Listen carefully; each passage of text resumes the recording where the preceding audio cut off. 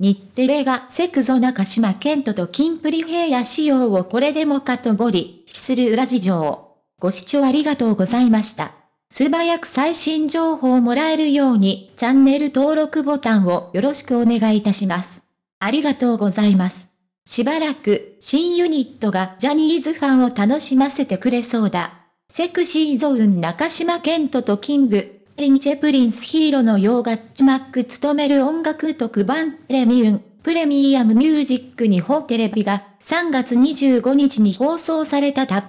二人は4月スタートのドラマ、未満警察ミッドナイトランナー、日本テレビ系でタッグを組んでおり、番組中ではセクシーゾーン、 King & Prince ドラマの主題歌をテレビ初披露披露。ファンからは、二組ともかっこよかった、色気だだ漏れ、ドラマますます楽しみになった、との声が飛び交った。二人は3月23日放送のしゃべくり007日本テレビ系にも登場。中島が握手会で転んだファンを見て、とっさに、シンデレラ気をつけて、と声をかけた伝説エピソードや、平野がドラマの撮影現場で、かっこいいな富士山は、お、かっこいいな監督は、と仰天すぎる NG を出した秘話が語られました。ドラマがスタートすれば、さらに二人の裏話や素顔が報告されるでしょうから、ジャニーズファンは目が離せなくなりそうです。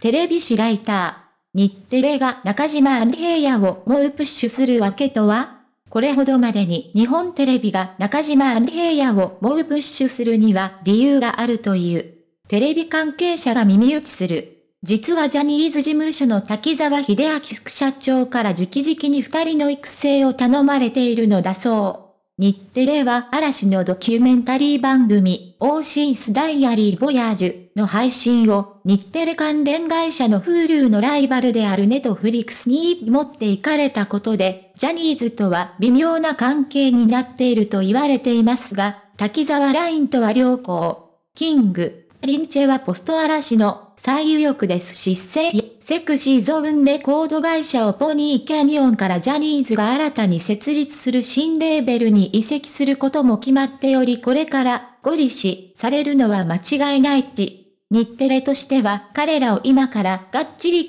っておけば大きなアドバンテージになりますからね。ひょっとすると滝沢氏は中島と平野を第二のタッキーや翼にしたいのかも平野志陽さんプロフィール1997年1月29日生まれ、愛知県出身。圧倒的なセンスのダンススキルや歌声を持つ一方、チャーミングな発言とのギャップで多くのファンを魅了する。ご視聴ありがとうございました。これからも一緒に応援していきましょうね。チャンネル登録をよろしくお願いいたします。